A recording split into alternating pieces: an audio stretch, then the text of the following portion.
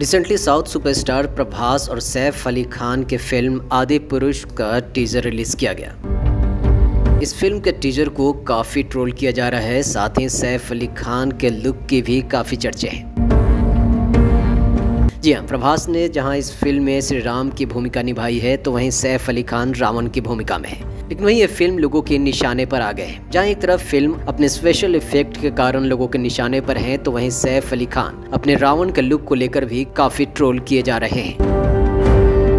जी हाँ फ़िल्म आदि पुरुष को लेकर शुरू हुआ विवाद रुकने का नाम नहीं ले रहा, और हर कोई इस पर अपनी प्रतिक्रिया दे रहा है। काफ़ी लोग फ़िल्म को बैन करने की मांग भी कर रहे हैं। लेकिन वही अब इस फ़िल्म के टीजर पर मनोज मुंतशिर का बयान सामने आया है। बता दें कि सुपरस्टार प्रभास और बॉलीवुड एक्टर सैफ अली खान जल्द ही डायरेक्टर रोम आउट के फ़िल्म आदि पुरुष में नज़र आने वाले हैं। लेकिन फ़िल्म आदि पुरुष को लेकर काफ़ी विवाद खड़ा होता दिख रहा है। चाहे फ़िल्म के निर्माता हो एक्टर हो या फिर डायरेक्टर ओम राउत, सभी लोगों के निशाने पर आ गए हैं। फ़िल्म के वीएफएक्स से लेकर सभी किरदारों को सोशल मीडिया पर काफ़ी ट्रोल किया जा रहा है। वहीं कुछ मीडिया रिपोर्ट्स की माने तो गीतकार मनोज मुंतशिर ने इस फ़िल्म को लेकर आज तक को अपना एक इंटरव्यू दिया और कहा कि हर युग की बुराई का अपना चेहरा होता है। अलाउद्दीन खिलजी उस दौर की बुराई का चेहरा है। हमने आदि पुरुष के रावण को जानबूझकर ऐसा नहीं बनाया है। बता दें कि फ़िल्म में सैफ अली खान रावण की भूमिका में है और इस फ़िल्म में सैफ का लुक कुछ ऐसा दिखाया गया है। लोगों का कहना है कि ये रावण है या फिर Alauddin Khilji. A new promotional poster for Adipurush is out. From what angle does this look like Ravan? They continue to either distort or mock Hindus.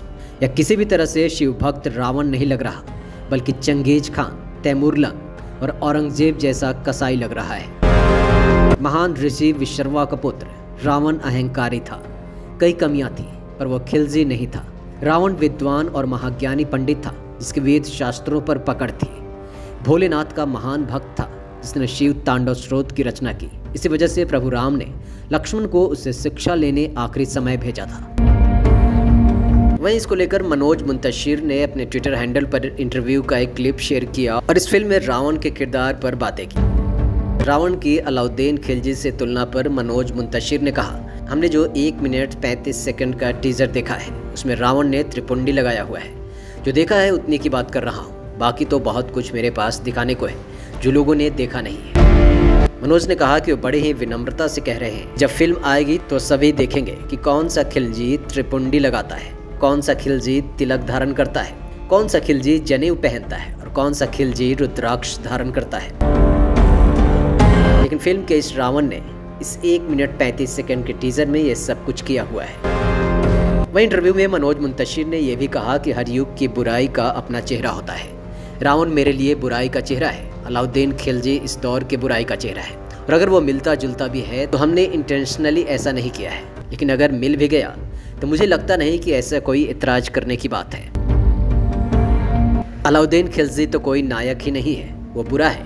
और अगर रावण का चेहरा उसे मिलता है, और उससे इसलिए ज़्यादा नफरत है, क्योंकि वह खिलजी जैसा दिखता है तो कोई बुराई नहीं है इसमें। वही फ़िल्म में रावण द्वारा माँ सीता के हरण के बारे में बोलते हुए मनोज मुंतशिर ने कहा कि डायरेक्टर ओम रावत ने जिस तरह से दिखाया है, उन्होंने देखा कि रावण माँ सीता का हरण करता है, लेकिन एक क्षण के लिए भी उन्हें स्पर्श नहीं करता, वो माया से हरण करता है। मनोज ने कहा कि मैंने ओम से पूछा भी ये तो मैंने कभी सोचा ही नहीं, क्योंकि हमने पहले जब भी देखा है, उसमें रावण हाथ पकड़कर उन्हें खींच कर ले जाते देखा है। ओम रावत कुर्सी से खड़े होकर कहते हैं, सर, वो मेरी माँ है और उन्हें कोई छू भी नहीं सकता। ये अप्रोच है एक मेकर का इस फ़िल्म के लिए। फ़िल्म के स्क्रिप्ट के बारे में बताते हुए मनोज मुंतशिर ने कहा यह उनकी सत्तरवीं फ़िल्म है, जिसके लिए उन्होंने डायलॉग लिखे और ऐसा पहली बार हुआ है कि जिस दफ्तर में वो अपने डायलॉग लिख रहे थे, अपने जूते बाहर खोलकर आया करते थे.